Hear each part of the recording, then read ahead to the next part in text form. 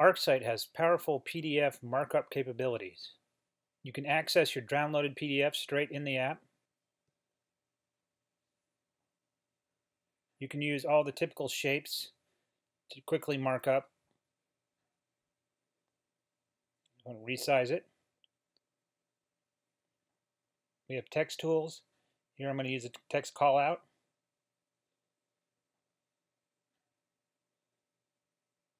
And these can be moved around.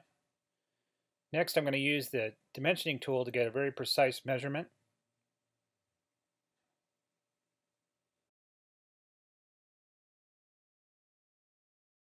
And now I'm going to select this room with a click of a button, get both the area and cumulative length, and then go ahead and color fill it.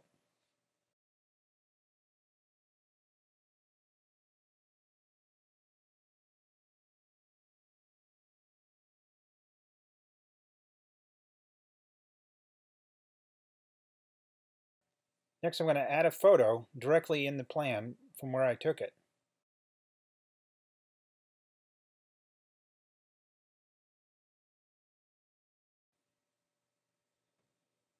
Now I'm going to select it and go ahead and mark it up.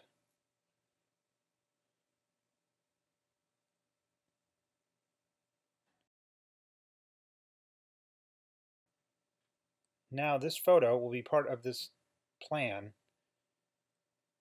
moving forward. We have a shape library where you can use and create your own shapes to quickly add information visually. You can use the layering to separate out your elements of your plan.